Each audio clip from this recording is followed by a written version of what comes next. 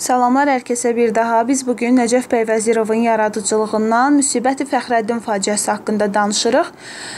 Bu faciəni də çox tez-tez istəyirsiniz təhlilini, məzmununu. İnşallah ki, faydalı bir videolar sizin üçün. Faciə 1896-cı ildə yazılmışdır və Azərbaycan ədəbiyyatında faciə janrının əsası da elə bu əsərlə qoyulmuşdur. Nədən bəhs olunur? Mövzu olaraq əslində e, biraz fikir ayrılığı var. Bir tərəfdən həm e, qan davası, nəsil ədavəti vardır əsərdə. Digər tərəfdən də mövhumat, gerilik, cəhalət, onu təmsil edən obrazlarla gələcəyə inam, tərəqqi, inkişaf e, meylli olan obrazlar qarşılaşdırılır. Yəni bir növ e, geriliklə yenilik qarşılaşdırılır burada. Ona görə də mövzu olaraq kitabımızda da hər iki mövzunun götürüldüyü qənaətinə gəlirik. Həm də ki, onsuz da qan davası, nəsil ədavəti cahilliyin ərsəyə gətirdiyi anlayışlardır. Buna görə də elə hər ikisini biz mövzu olaraq götürə bilərik. İki ailə var burada. Biri Heydər bəyin, yəni Heydər bəy Fəxrəddinin atasıdır. Heydər bəyin ailəsidir. Digəri isə Rüstəm bəy və onun ailəsidir. Rüstəm bəy ilə Heydər bəy bir-biri ilə düşmən olurlar və Fəxrəddinin atası, yəni Heydər, Rüstəm bəyin oğlu Rəşidi öldürür. Rüstəm bəy isə Heydər bəyi öldürür. Və indi Rüstəm bəy düşünür ki, Rəşidin qanı yerdə qalıb və bu qan davasını davam etdirmək naminə, Rəşidin qanını almaq naminə o Fəxrəddini öldürmək istəyir. Birinci sadalayaq hansı ailədə hansı obrazları var. Deməli, Rüstəm bəy böyük mülkədardır. Mahmud bəy onun cavan oğludur. Rəşid bəy yenə onun oğludur, rəhmətə gedib. Səadət xanım isə onun qızıdır. Gülbahar Mahmud bəyin övrətidir, yoldaşıdır, həm də Fəxrəddinin bacısıdır. Yəni düşmən qızıdır. Mahmuda ə, yoldaş gətiriblər onu. Digər tərəfdə ə, Heydər bəydir. Heydər bəyin oğlu Fəxrəddin, digər oğlu Şahmar bəy, həyat yoldaşı Mələk xanım, və Gülbahar da yenə Fəxrəddin və Şahmarın bacısıdır. Hacı Xəlillə Murad e, Fəxrəddin bəyin ailəsinin cavan nökərləridir. Əhmədlə Vəli də Rüstəm bəyin nökərləridir. Burada Cahangir bəy də var ki, cavan oğlandır, mülkədardır. O da Saadət xanımı istəyir. Burada onu demədim ki, heç Fəxrəddin bəylə Saadət xanım bir-birinə aşiqdilər. Yəni iki e, düşmən ailəsindən olan savadlı gənclər bir-birinə aşiqdilər. E, Cahangir bəy də Saadət xanımı istəyir. Fərhadla Məhərrəm də Cahangir bəyin dostlarıdır. Əsər necə başlayır? Birinci məclisdə nə görürük biz? Rüstəm bəy tənha oturub və öz-özünə danışır, yəni monoloqu səslənir onun. Rüstəm bəyin monoloqundan əslində biz onun haqqında kifayət qədər məlumat ala bilirik. Həm onun törətdiyi ə, faciəli işlər, belə deyək, insanların başına açdığı oyunlar haqqında məlumat ala bilirik, həm də gələcək planları. Deməli Rüstəm bəy deyir ki, bu monoloqu niyə səsləndirir, onu da deyim. Fəxrəddin Almaniyaya gedir, orada oxuyur, təhsillidir. Fəxrəddin öz elinə, obasına fayda verən bir gəncdir və artıq el obasına qayıdandan sonra Fəxrəddini hamı yavaş-yavaş tərifləməyə başlayır hər yerdə. Çünki o ə, məktəb açdırır, daha sonra ə, xəstəxana açdırır, molla gətizdirir, təsərrüfat işlərinə əl gəzdirir. Yəni öz ə, obasına faydalı olan bir gəncdir və onun namı belə deyək artıq artmağa başlayır. Bu da Rüstəm bəyi qəzəbləndirir. Rüstəm bəy e, burada deyir ki, mən deyir həmən Rüstəməm ki, top dağıtmaz, top dağıtmaz. Cümşüd bəyin evini xaraba qoymuşam. Mənə bir təşəxxüs satmaqdan ötürü Kərim xanın yurdun xaraba qoydum külün havaya soyurdum. İndi mən deyir ağzından süd iyi gələn cavandan qorxacam. Yox deyir, e, heç vaxt qorxmuram ondan və deyir görək Fəxrəddin də atası Heydər bəydən qoçaqmı olacaq ki, Heydər bəy əli qılınclı qabağımda dovşan tazı e, qabağından qaçan kimi vazıyırdı. Sonra deyir ki, özün öldürtdüm, yəni Heydər bəy öldürdüb, qızın güclə oğluma gətirtdim. Qardaşlarını da bu vilayətdən itirtdim. Mən deyir ölmüşəm ki, Fəxrəddin gəlib burada ad alıb san çıxartsın və mənim oğlum Rəşid, Rəşid kimi oğlun qanı yerdə qalsın. Sonra Əhmədlə Vəlini çağırtdırır. Yox deyir, belə olsa, yəni qanı qal yerdə qalsa, bu papaq mənə övrət ləçəyi olsun. Fəxrəddin deyir, mənim oğlum Rəşidin qanına layiq ola bilər. Bir təkdir Fəxrəddin oğlum Rəşidin qanına layiq ola bilər. Nəyə görə? Çünki Fəxrəddin yurduna fayda verən bir gəncdir. Artıq dediyim kimi, e, belə bir sual ortaya çıxır ki, Fəxrəddindən başqa Şahmar da var da, onun qardaşı. Nəyə görə bəs Şahmar yox, Fəxrəddin? Çünki e, belə e, öz dilimizdə desək belə deyə bilərik ki, Rüstəm bəy fikirləşir ki, Fəxrəddini öldürsəm ürəyim biraz uf deyər. Yəni biraz ürəyim soyuyar. Nəyə görə? Çünki Fəxrəddin atsan alıb, xaricdə təhsil alıb və onun öldürülməsini Rəşidin qanına, yəni onun qanı ilə Rəşidin qanının yuyulmasını, intiqamının alınmasını istəyir. Sonra deməli çağırır burada Əhmədlə Vəlini. Rüstəm Fəxrəddini xəbər alır onlardan. Deyir ki, Fəxrəddin deyirlər gəlib ölənəcən mənlə ləşən atası Heydər bəyə oxşuyurmu? Əhməd deyir ki, xeyr, görməmişik, ancaq belə deyirlər ki, çox qəribə oğlandı, alçaq, mülayim, burada alçaq yəni alçaq könüllü mənasında. Əlavə də deyirlər ki, öz rəiyyəti üçün mülkündə azarxana və məktəbxana açıbdı. Həkim gətirib, mama gətirib. Rüstəm bəy də deyir ki, eşitmişəm, amma deyir, Fəxrəddin tamam dünyanın gözü də olsa, mənim oğlum Rəşidin əvəzi deyil. Onu Heydər bəy para-para eləmişdi. Nə qədər Fəxrəddin gözəl olsa, nə qədər kamallı olsa, mənə bir o qədər xoşdur. Çünki onu qəza oğlumun qanına layiq əvəz göndərir və mənim üçün məqamı intiqamdır. Deyir, yəni nə qədər ağıllı, yaxşı olsa mənim üçün o qədər yaxşıdır. Əhmədlə Vəliyə deyir ki, siz Rəşidimin yadigarları, o bədbəxt gecə Rəşid can verən zaman biz əhd peyman elədik. Yadınızdadır? Əhməd deyir ki, e, elə şey yaddan çıxmaz. Adın kişi qoyanın sözü bir gərək başımızdakı papaqdır, ağa. Övrət ləçəyi deyil. Vəli də deyir ki, əvvəl-axır ölümdür. Qoy can puç olsun qeyrət yolunda. Rəşid ağamın müsibətini unutmaq olmaz. Rüstəm bəy bu sözlərdən xoşallanır, deyir: "Mərhaba, mərhaba. Mən bilirdim ki, elə siz bu cavabı verəcəksiniz." Verəcəksiniz. Hardasan deyir oğul Rəşid, belimi sındıran oğul. Yaraların yadıma düşəndə dünya və aləm başıma ə, aylanır, bədənim od tutur, yanır. Qəbrində deyir rahat yat sənin qanını yerdə qoymayacağam. Sonra Əhmədlə Vəli gedirlər. Rüstəm bəy öz-özünə deyir ki, mənim deyir oğlum Mahmudda namus, qeyrət olsaydı, Mənim nişanələrimin 100-dən biri onda tapılsaydı, indiyə kimi qardaşının intiqamını almışdı. Mahmud da burada müsbət obrazdır. Yadınızda qalsın. Yəni Mahmud da qan tökülməsini istəmir. E, and olsun deyir Rəşid bəyin qəbrinə. Mahmud övrətin sözünə baxıb, yəni e, yoldaşının sözünə baxıb bir qeyrətliyi qəbul eləsə, mən onu bir də oğul deyib çağırmayacağam. Mənə nə deyir, ya ölüb, ya itmiş hesab eləyəcəm onu. Mənim oğlum gərək mənə oxşasın. Bir qeyrət oğul mənə lazım deyil. Rəşid əlimdən getdi, ölmədim. Mahmud gedəndə nə olacaq? E, dünyada deyir, ömür eləmə, elədin qeyrəti, namusu əldən vermə. Sonra Mahmud gəlir, deyir, nə buyurursuz? Rüstəm deyir ki, Mahmud, sənin məhəbbətin məni vadar elədi ki, mən gedib düşmən qızını gətirdim. Deməli, e, Mahmud Gülbaharı sevib, sonra e, Rüstəm bəy gedib Gülbaharı Mahmud üçün artıq evinə gətirdi.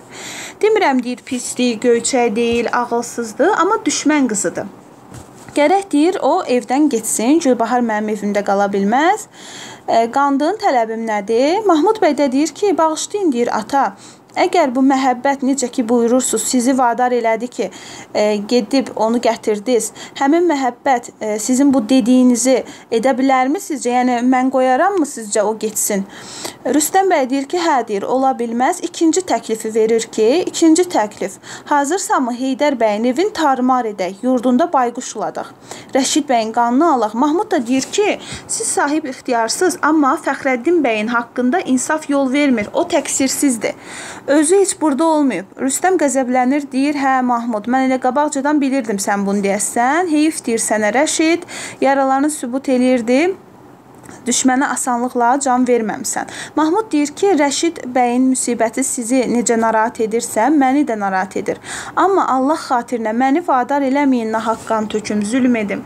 Rüstəm deyir, yaxşı, kifayətdir, get. Mahmud gedə-gedə kənarda deyir ki, sən ki belə başlamısan, öz evində elə bayquş olacaq. Rüstəm bəy də təkcə deyir ki, Rəşidin qanını yerdə qoymayacam.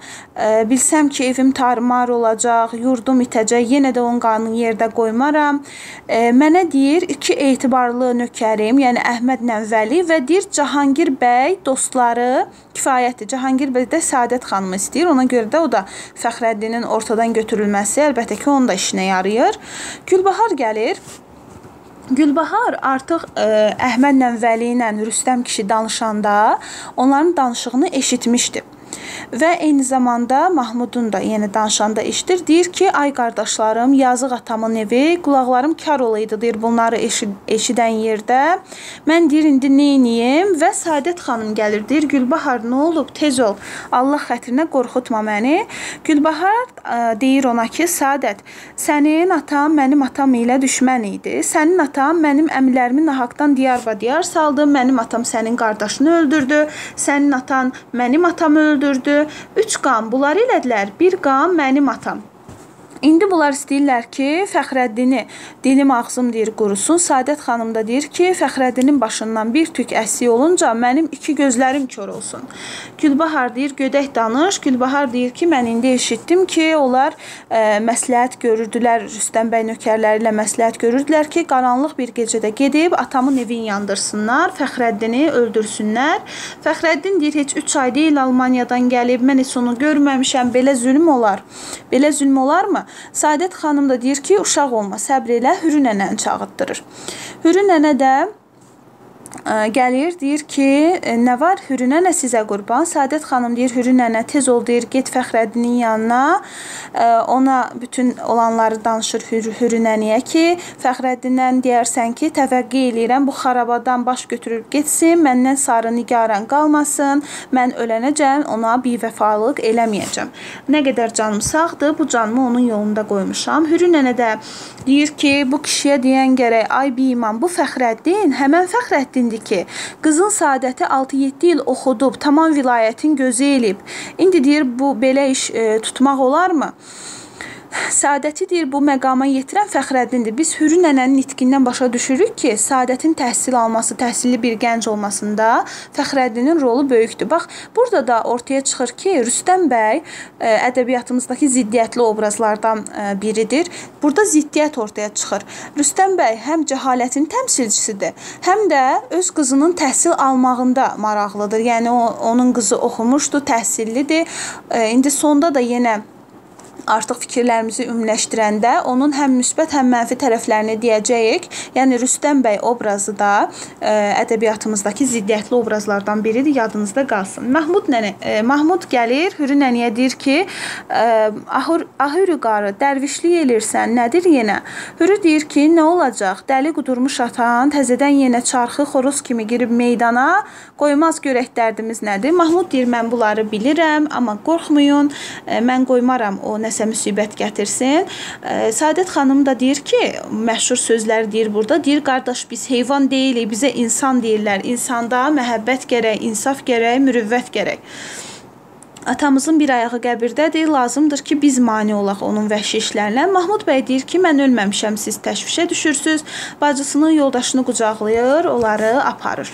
Sonra ikinci məclis artıq Fəxrəddinin evindədir. Fəxrəddin tək oturur.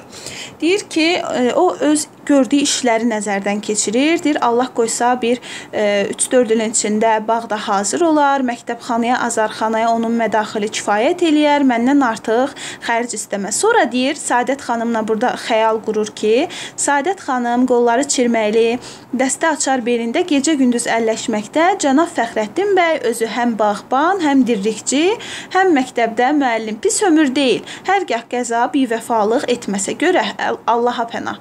Hacı Murad ə, Hacı Muradı çağırır. Hacı Murad gəlir deyir, nə buyurursunuz ağa? E, Hacı Murad deyir, həkim mənzilindən razıdırmı? Mollanın kefi necədir? Hacı Murad da deyir ki, bəlidir, razıdır. E, övrəti də razıdır. Bir inək də ki, gəlibdir, şadlıqlarından bilmirlər nə etsinlər. Molla e, uşaqlarla dərsdən sonra uşaq kimi oynayır, çox yaxşı oğlandır. Fəxrəddin deyir ki, çox yaxşı, təhəng çubuqlarını e, xəbər alır burada.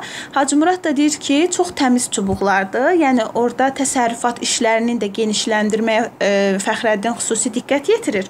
Burada da təhəng çubuqlarını soruşur. Fəxrəddin də deyir ki, çox e, pakizə, sübh tezdən hamısını bastırarsan, nə qədər fəhlə lazım olsa bağbana deyərsən. Hacı Murad da deyir, Molla özü hazırlaşıb əlləşməyə. Fəxrəddin də deyir ki, hər iş yolundadır. Hacı Murad çıxıb gedir artıq. Şükür Allaha. İndi qalıb bircə Rüstəm bəy ilə barışmaq. Yəni Fəxrəddin Rüstəm bəy ilə barışmağı planlaşdırır. Bilmirəm deyir nə tövr eləyəcəm. Dünyanın hər bir işi cəngi məğlubədir, amma vəhşi nadanlıqla cəng etmək mümkün deyil. Neynəmək deyir? Çünki oldun dəyirmançı, çağır gəlsin, dənkör olur. Mələklə Şahmar daxil olurlar.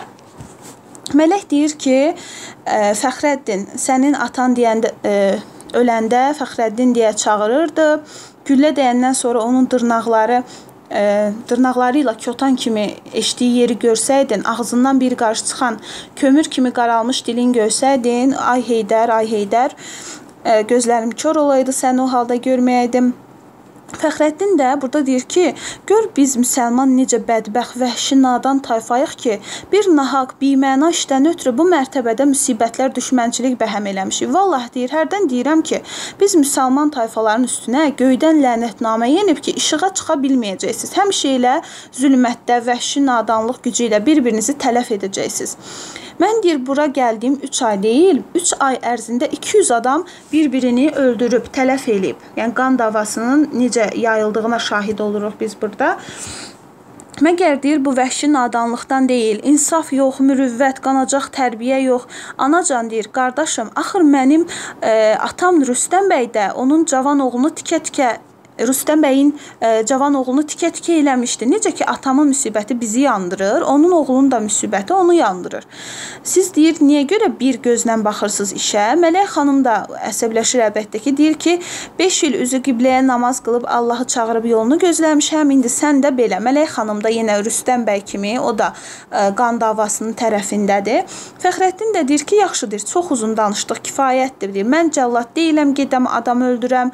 Neyniyəkdir? Bir can planım var, öldürmək istəyirlər, gəlsinlər öldürsünlər. O ki qaldı səadətə, məni ondan bircə əcəl aylar. Amma sizə təvəqqə edirəm, səadət barəsində dəxi artıq bu evdə söhbət olmasın. Kifayətdir.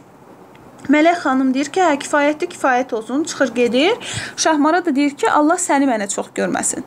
Gedirlər bunlar. Fəxrəddin bəy deyir ki, qəribə işə düşmüşəm, Allaha and olsun. Deməli, e, bu kəsatə mədə ilə mən mənə ağıl öyrətmək istəyirlər. 5 gün deyil gəlmişəm. Az qalıb məni cəllad eləsinlər. Heyif sənə deyir gözəl şəriət, heyif sənə gözəl İslam. Xaraba qalasan ölkə. Sonra Hürü nənə gəlir. Fəxrəddin bəy görür, deyir kimsən? Hürü, Hürü nənə deyir ki, mənəm deyir. Hürü nənə sənə qurban. Fəxrəddin deyir, nə olub bu libasda? O kişi qiyafəsi geyinir, gəlir. Hətta ə, belə deyək, bu Müsibət Fəxrəddin tamaşaya qoyulanda Nəcəf bəy Vəzirov özü Hürünənə rolunu canlandırırdı çox vaxt.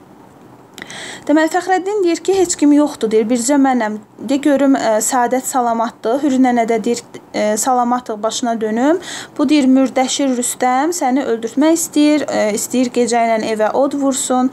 Ə, çölə kim, çıxarsa onu gülləbaran eləsin. Dəli qudurmuş Cahangir bəydir, bilmirəm onu tanıyırsan ya yox. O da Saadətdən ötürü dəli divanədir. Kişi istəyir onu da gətirib köməyə bu evin adamlarını cəmən qırsın.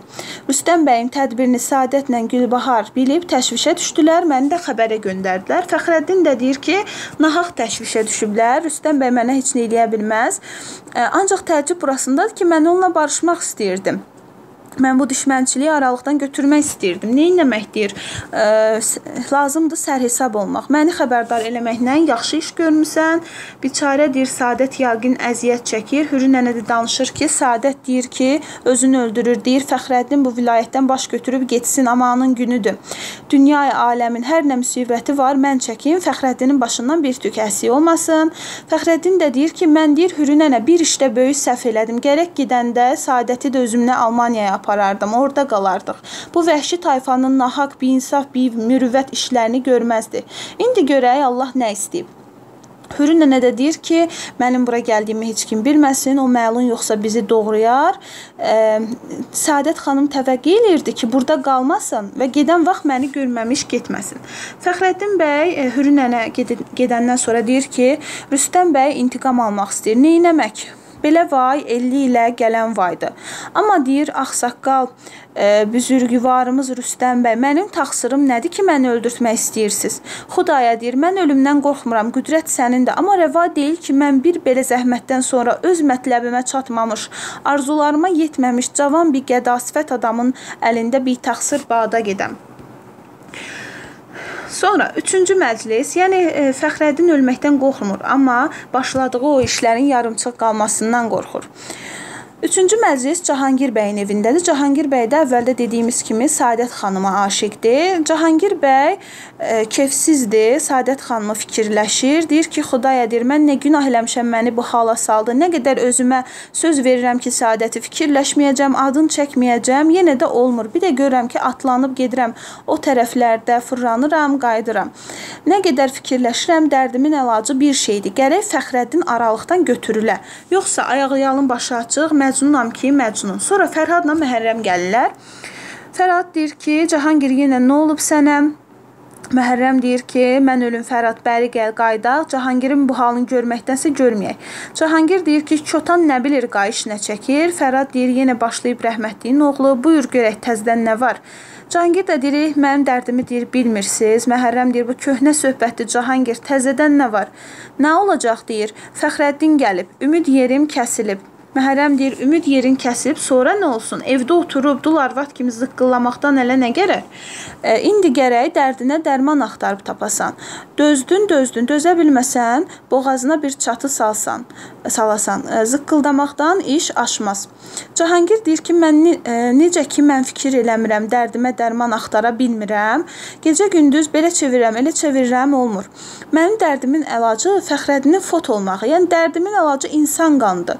Məhərrəm Məhərrəm deyir ki, mən bilsəm ki, sənin dərdinin çarə budur, Əzraili indi qəbul eləyərəm. Amma orada ə, e, iş orasındadır ki, mən belə dərmana inanmıram. Məhərrəmlə Fərhadın ə, e, ikisini müqayisə eləsək, Məhərrəm ə, e, bir növ daha müsbət obrazdır. Çünki o Fəxrəddini görəndə də ona əslində öldürmək üçün gedəcəklərindi, amma Fəxrəddini görəndə ona atəş açmaq istəmir. Çünki görür ki, o kitab oxuyur və deyir ki, belə bir gənci öldürməyə mənim əlim gəlməz. Amma Fərhad Məhərrəmdən daha qəddardır. Fərhad da deyir ki, qızın sənə heç meyli var. Cahangir deyir ki, yox deyir. Mən o nə qədər demişəm, mümkün deyil, məndən inciməsin deyir. Fərhad da deyir ki, indi biz neyniyək? Qız razı deyil, atası razı deyil, evləri də ki, Qars qalası. Cahangir də deyir, amanın gündür qardaşlar. Əgər bacarsanız müzayiqə eləməyin, məhərrəm deyir. Heç fikrə getmə, sizdən savayı kömək yerim yoxdur. Yəni gərək mənə kömək eləyəsiniz. Məhərrəm də deyir ki, Cahangir, sən qəribə adamsan valla. Mən necə fikir eləməyim? Rüstəm bəyin evini eləyiblər əlçatmaz qala. Fəxrəddin bəy də ki, həmçinin. Əlavə tutaq elə biz qadir olduq Fəxrəddin bəyi öldürək. Nə olsun qardaşım, acığın tutmasın. E? Saadət xanım deyəndə o bir padşaha layiq qızdır. Sən mənim tayımız deyil axı. Axır nə lazım olub bir bitməyən işin dalına düşə. Cahangir də deyir ki, bayaq dedim də, Kotan nə bilir qayış nə çəkir. Mən nə haldayam? Deyir ki, Allah sən də mənim günümə sal idi. Onda bilərdim mən nə haldayam. Fərad da deyir Məhərrəmə, rəhmətliyin oğlu. Məhərrəm də elə söz danışır ki, güya Fəxrəddin bəy öldürmək belə çətin işdir. Valla onu elə bu gecə öldürərəm. O ki qaldı qıza, sən öləsən deyir, çətini bir ələ keçməsidir. Nə qayıracaq? Atılar düşər, axırı yumşalar. Fərad deyir ki, yəni onu ələ keçirək. Məhərrəm də deyir ki, Fərad deyir, böyük-böyük danışma. Fəxrəddin bəyin qapısında deyir, iki gədə var, e, bizi diri-diri yeyərlər. Nə söyləyirsən? Qız da ki, sən deyən qızlardan deyil, onu tanımırsan.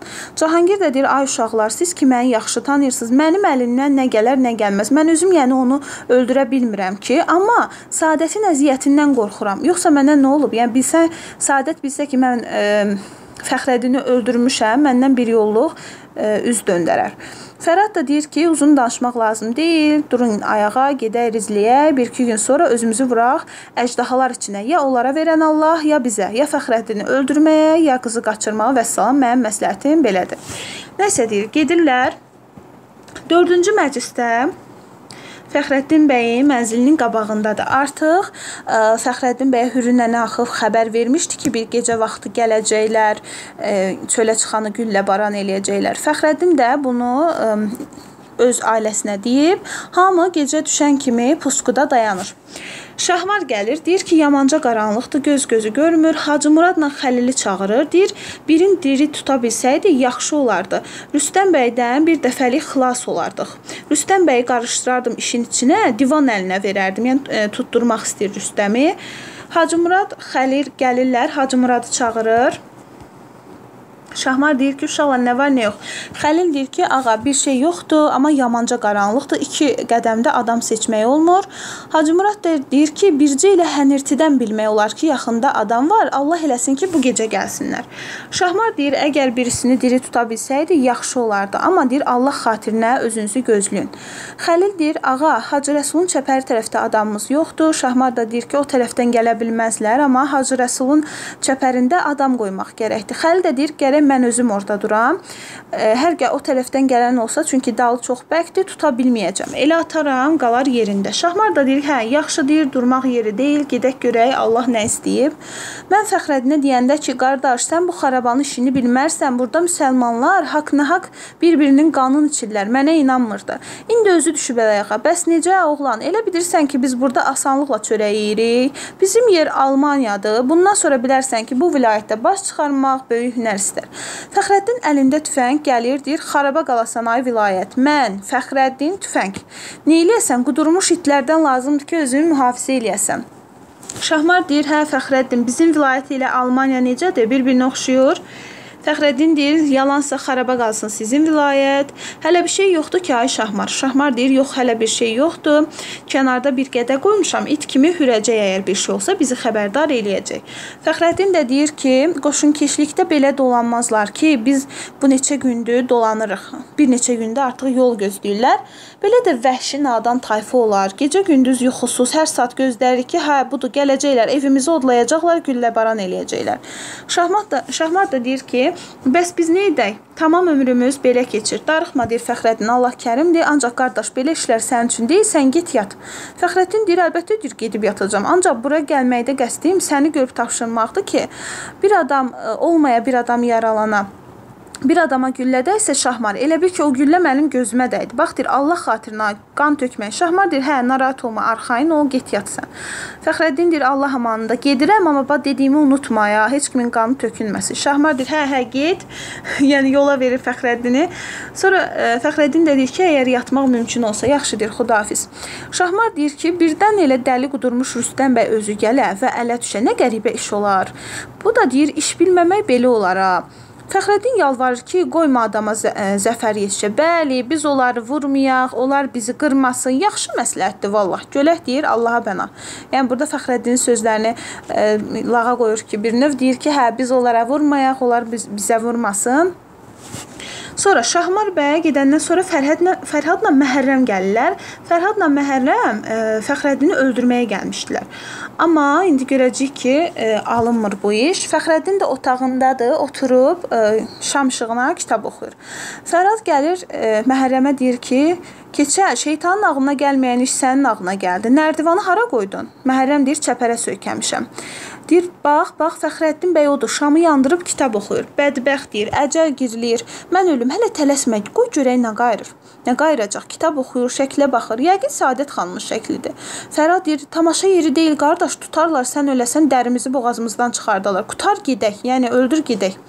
Məhərrəm deyir, bax içində bizi kim görəcək? Mən ölüm deyir, biraz da səbr elə. Afərin oğlan, pəh pəh pəh. Fərad deyir, belə dur görüm. Qoy qoy yatırdım gedək, sonra tərif edərsən. Yatırdım, yəni öldürüm. Məhərrəm deyir, mən ölüm deyir, səbr elə. Acıda sən nə qorxaqsan? Belə bağ içində belə qaranlıqda adammı görmək olar? Fərad deyir, bu canım ölsün ki, ya sən dəli olmusan, ya da bizi əcər girilib. Məhərrəm deyir, sən nə ağciyər adamsan Fərad? Qoy bir baxaq, necə ruhi rəvan oğlandır. Maşallah deyir, afərin. Fərad deyir, "Pa, olmadı ki, bəsdir də, rəng-rəng danışma." Məhərrəm deyir, "Mənim əlim qurusun. Mən əgər belə cavana, ə, e, mənim əlim belə cavana qalxsa, heyf deyil. Adam gərək onda Allahsız olsun." Fərad deyir, "Məhəllə, Məhərrəm deyir, Allaha bax. Bu yer naz qəmzə yeri deyil." Məhərrəm deyir, "Mən ata bilmərəm, əlim qurur." Fərhad deyir, əstəğfurullah, sən belə dur, gör mən onu necə yatırdıram. Məhərrəm deyir, qoymaram heç vaxt, əllərimi kəssən dişlərimlə tutub saxlayacağam. Bəs deyir, bizə biz bura nə üçün gəlmişik? Fərhad soruşur. Məhərrəm deyir, uzun danışma, Fərhad ağıllı danış. Sənə deyirəm ki, qoymaram. Fərhad deyir, bircə de görüm Cahangirə nə cavab verəcəksən? O deyir, sənin borcun deyil. Hə, belə məlum olur ki, sən bizə yoldaş deyilsən. Bəlkə hələ, yəni e, deyir ki, bizə yoldaş deyilsən, bəlkə içimizə girmiş bir canisən. Casussan daha doğrusu. Məhərrəm deyir, baş aparma Fərhad, adam kimi danış. Nəysə, külə e, onlar axı puskuda durmuşdular. Fərhadı, Məhərrəmi, yəni e, səslərini eşidirlər. Bayaq biz eşitdik ki, o Hacı Muradın nitqində idi, səhv eləmirəmsə, deyir ki, bir hənirti də gəlsə, yəni eşidəcək. İnşallah ki, bu gecə gələrlər. Artıq onların səsini eşidirlər. Tez e, Fəxrəddin şamı söndürür, Məhərrəmlə Fərad qaçırlar. Xəlillə Hacı Murad onları qovurlar ki, tərpənməyin, bu dəqiqə deyir boynunu vuraram. Acədə Şahmar deyir, qoymayın, qabaqla hara qaçırsan. Birini tuturlar, amma burada bilinmir. Deyir tutmuşam, gəl ay gədə, tərpənmə, tərpənmə. O birisi necə oldu? At qalsın yerində. Qoyma, qaçdı. Nəysə, bunlar burada o birini də qovurlar, e, tüfəng atılır və uzaqlaşırlar. Qoymayın deyir, apardılar. Xəlil deyir. 5-ci məclisdə də deməli birinci Fərhadla Məhərrəm getdilər. İndi 5-ci məclisdə də e, Mahmud və digərləri gedirlər. Yəni Fəxrəddin bəyin evinə hücuma. Burada əvvəldən artıq biz görürük ki, Mahmud bəy qan tökülməsini istəmir. Amma artıq e, çarəsi yəqin ki, yoxdur ki, Rüstəm bəy o qədər e, deyir ki, Mahmud bəy də e, Fəxrəddinin evinə odlamaq üçün gedir. Sadət xanım deyir ki, mənim ağlım kəsmir ki, Mahmud şəhərə getmiş ola. Heç elə gün olmayıb ki, bizim evimiz bu mərtəbə yəsiz qala. Yəni Mahmud, Rüstəm hamısı yığılışıblar, gediblər axı. Qanmıram deyir bu nə işdir. Deyirəm yoxsa bu evi yıxılmışlar o tərəfə gediblər. Gülbahar deyir ki, mən özüm də qamıram. Mahmud gedəndə mənə dedi ki, şəhərdə işim var. Hürü də deyir ki, onu bilirəm ki, Rüstəm bəy qaranlıq qovuşandan 1-2 saat sonra tüfəngi götürüb getdi. Artıq bunlar şübhələnirlər. Sadət xanım deyir ki, siz burada durun, mən indi gəlirəm. Hürü də deyir, e, hələ belə iş görünməyib ki, sənin evində bir Allah bəndəsi gəlin ola, sən də gedəsən onun atasının evinə od vurasan, qardaşlarını öldürəsən. Yox olasan deyir ay Rüstəm. Gülbahar da deyir Allahın qəzəbinə gəlsin onu, Sadətin canından uzaq yerə. Hürü də deyir, əgər Sadət olmasa mən də burada bir dəqiqə qalmaram. Sonra Gülbahar deyir ki, yox bu evi yıxılmış Rüstəm bəy fərağat oturmayacaq. Ölənəcən barışıq zad olmayacaq. Sadət xanım artıq çölə çıxanda çobanlardan vəziyyəti eşidir nə yerdədir. Təlaşla gəlir, deyir: "Hürü nənə, Mahmudun çuxasını, Əhmədin yapıncısını, papaqlarını tez bura gətir, tez ol. Sual lazım deyir." deyir. "Xudaya bilmirəm biz də günah eləmişik ki, bu qədər müsibətlər bizim başımıza gəlir." Gülbahar deyir: "Titrəmək vaxtı deyil, tez ol." deyir. "Sən gərək gedəsən, burada artıq qala bilmərsən. Evin yıxılsın, ata, gediblər. Qırğın olub, çoban söyləyir." Gülbahar deyir, sənə canım qurban Sadət, yoxsa atamın evi yıxılıb. Sadət deyir, ağlamaq yeri deyil, geyin çuxanı, çıxın gedin. Hürü nənə sən də tez olun. İndi Allah amanında durmayın burada. Gülbahar gedə-gedə deyir ki, yurtsuz, yuvasız canım vay. Sadət xanım deyir, Allah kərimdir, gedin, gedin, görün mənim başımda nə müsibətlər var. Səs gəlir, Sadət xanım irəli keçir, görür atası gəlib. Rüstəm deyir ki, mənəm Sadət. Yaxşısınız deyir ata. Rüstəm bəy deyir, qorxma qızım, bir elə artıq iş olmayıb. Sadət deyir, bir elə iş olmayıb, nə deyən sözdür. Mahmud hanı? Rüstəm deyir, sənə deyirəm, bir elə iş olmayıb. Mahmud bəyi yaralı gətirirlər. Əhməd onun qoluna girir, yavaş-yavaş gətirir. Sadət deyir, uy qardaş, bacın ölsün. Rüstəm deyir, Sadət çığırıb bağırıb aləm bura tökmə Allah xatirinə. Mahmud bəy deyir, qorxma Sadət, qorxma. Allah işidir. Rüstəm deyir, bir yastıq tez olun, qorxma Yassar, mərdanə ol. Otur, ə, otur Əhməd, gir qoltuğuna. Mahmud deyir, tələsməyin, qoyun dincəlim. Sadət deyir, o güllə bacının gözünə dəyəydi, ay qardaş. Rüstəm deyir, bir qayçı, tez olun gərək e, yara bağlana, bağlanması olmaz, bəlkə xətərli yaradır. Mahmud yenə deyir, qoy biraz dincəlim. Rüstəm bəy deyir, qan çoxmu gedib a gedə? Əhməd deyir, bilmək olmur ayağa, indiyə kimi axdı, getdi, qan nə qayırır? Sadət xanım əlində qayçı gəlir. Deyir bacın gözlərinə qurban. Əhməd deyir belə tut, yavaş tut burdan. E, yəni e, ona bir əlac eləməyə çalışırlar. Rüstəm də deyir ki, e, özün də deyir burdan get. Sən belə dur Səadət, özün də burdan get. Səadət də deyir ki, evin yıxılsın ayata. O güllə bacının sağ gözünə dəyəydi. Ay qardaş, ə, dincəl indi ata, evi yıxılmış ata. Rüstəm deyir, Mahmud, Mahmud niyə danışmırsan? Ay başına dönüm Mahmud. Yəni Mahmud can üstündədir artıq. Əhməd deyir, ağa, Cahangir bəy vəlini tutdular. Yazıqlar şir kimi əlləşirdilər, olmadı. Zalım uşaqlar güya ki bizim yolumuzu gözləyirmişlər. Ə, Sadət deyir ki, ay qardaş, ata evin başına otursun ata, barı üzünü qibləyə çevir. Hamısı Mahmud, Mahmud deyə ağlayır. Sadət e, yenə deyir ki, Allahı çağır, qardaş salavat çevir, kə, e, kəlməni de, ürəyinin sözünü de nakam qardaş. Mahmud deyir Gülbahar. Gülbahar deyir çağırım gəlsin Sadət. Rüstəm deyir canıma ot salma, ciyərimi dağlama, nakam gedən olur. Taxsır məndə day oğul, mən ölməli idim mən. Mahmud deyir Gülbaharın xətrinə dəyməyin, onu incitməyin. Sadət də deyir sən narahat olma, Gülbaharın e, sənə qurban bədbəxt qardaş. Mən qoymaram ona ölənəcən söz deyiləm. Rüstəm də deyir, ay oğul, aman günüdür, mənim evimi yıxma.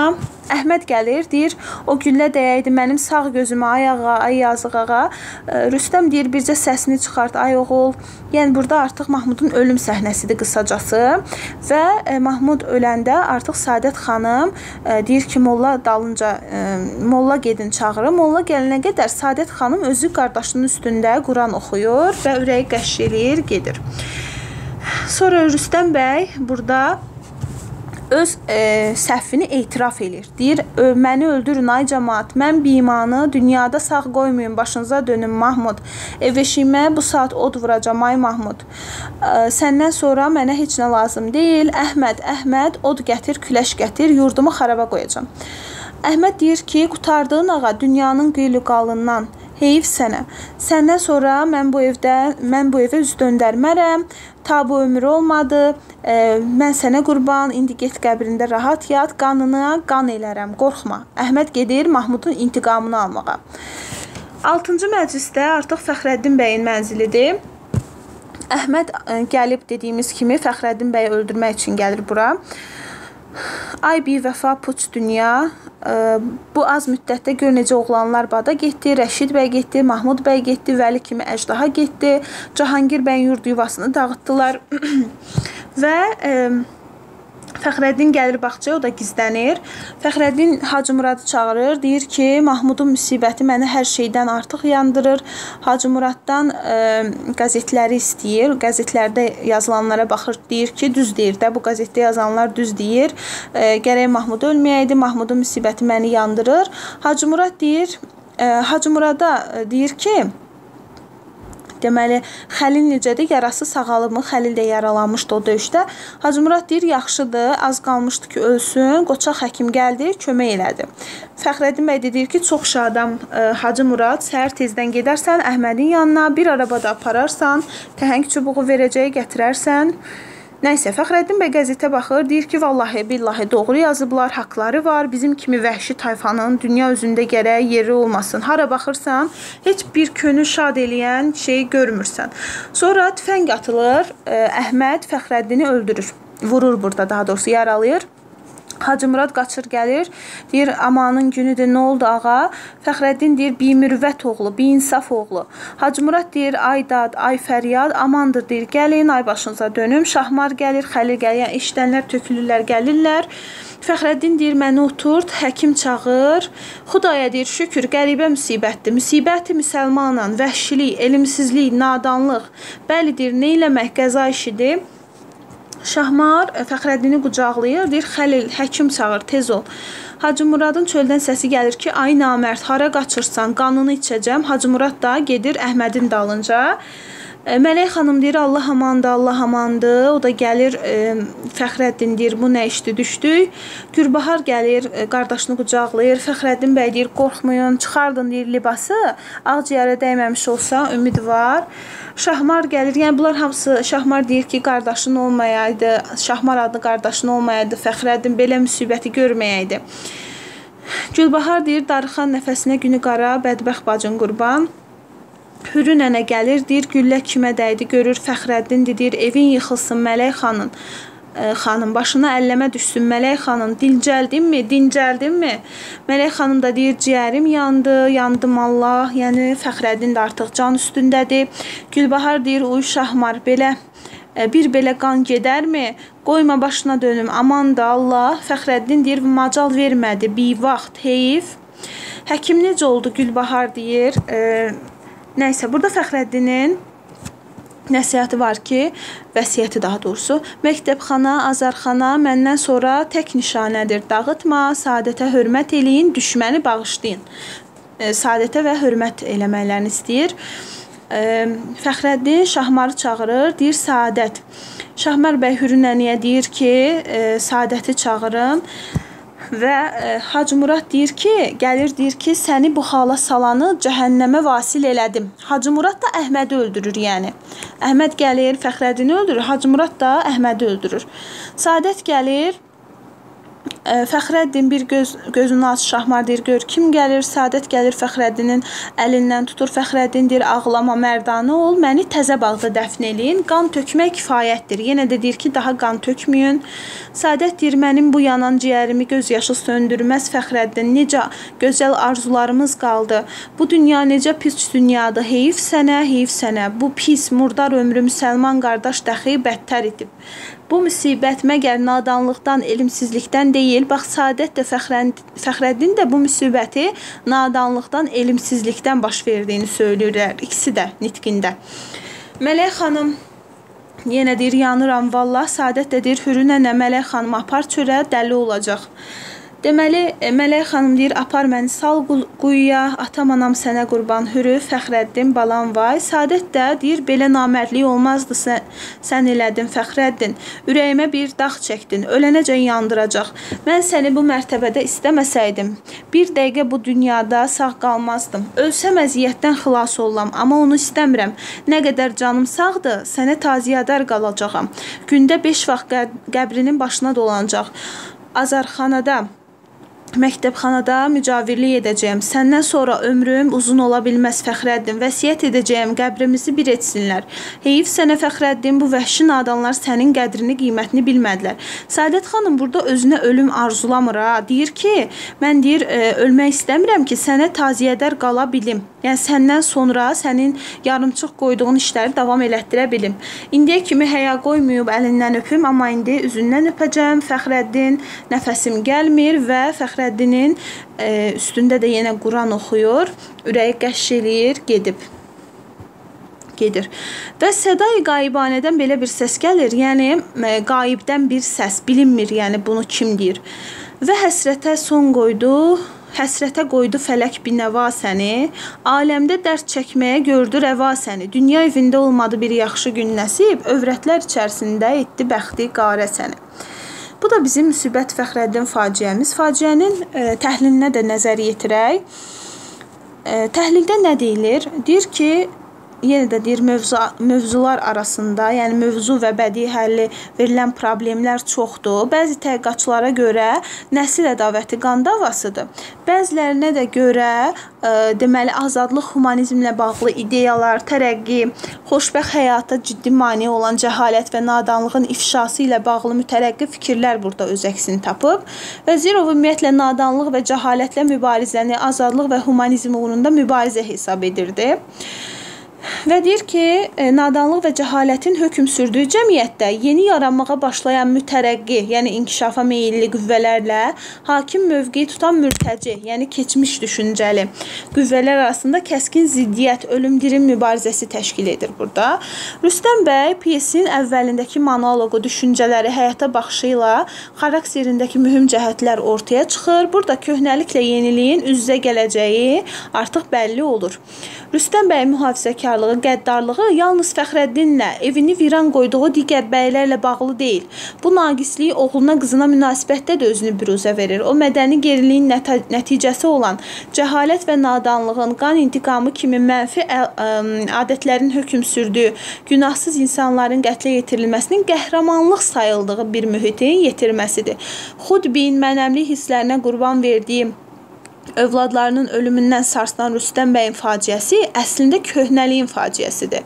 Oğlu Mahmud bəyin ölümündə günahkar olduğunu anlayan Rüstəm bəy məni öldürün deyir, ay cəmaət, mən bimanı sağ qoymayın. O öz məğlubiyyətini etiraf etmiş olur.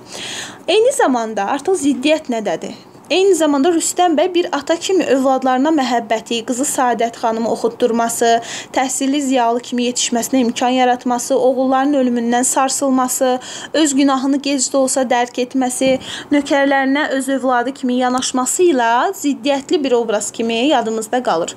Fəxrəddin təhsilini tamam eləyir, vətənə dönür, böyük arzularla yaşayır, xalqının maariflənməsi, ölkəsinin qabaqcıl mədəni ölkələr sırasında yer, yer almasını istəyir və vaxt itirmədən əməli fəaliyyətə başlayır. Öz xərci ilə xəstəxana və məktəb açır, təsərrüfatı yenidən qurur, onu gələcəkdə daha da genişləndirməyi e, planlaşdırır. Yenilik, tərəqqi arzusu, həvəsi onu bir anda olsa tərk etmir. Amma ətrafda baş verənlər, eşitdikləri bu gənc maarifpərvəri məyus edir.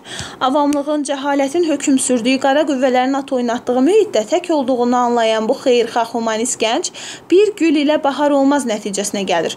O zülmət səltənətini həyətində bir nur kimi parlayır, tez də sönür. Onun faciəli ölümü oxucunu e, mütəəssir edir, təsirləndirir, yəni. Gözəl niyyətlərlə yaşayan bu gənci məhv edən qara qüvvələrə müəllif kimi o da nifrət edir. Sadət xanım Dramaturgiyamızda ilk maarifçi qadın obrazıdır. Fəxrəddinlə həmfikirdir bu nəcib ağıllı qız. Onun fəaliyyətini yüksək dəyərləndirir, ona yardımçı olmaq istəyir, atasının əməllərini bəyənmir. İşıqlı ideallarla yaşayan Sadət xanım onun qara niyyətini, Fəxrəddini öldürmək istədiyini biləndə hiddətini boğa bilmir. Qardaşına öz mövqeyini bildirir ki, biz e, heyvan deyilik. Bizə insan deyirlər. İnsan olan kəsdə məhəbbət gərək, insaf gərək, mürüvvət gərək. Ailələrinin düşmənçiliyi bu iki gəncin məhəbbətinə mane ola bilmir. Onların düşüncə, arzu, həyata baxışları arasında yaxınlıq yeni dünya insanının yetişdiyinə işarə edir. Təsadüfi deyildir ki, Fəxrəddini onun arzu və əməllərini hamıdan çox Sadət xanım duyur, anlayır və qiymətləndirir.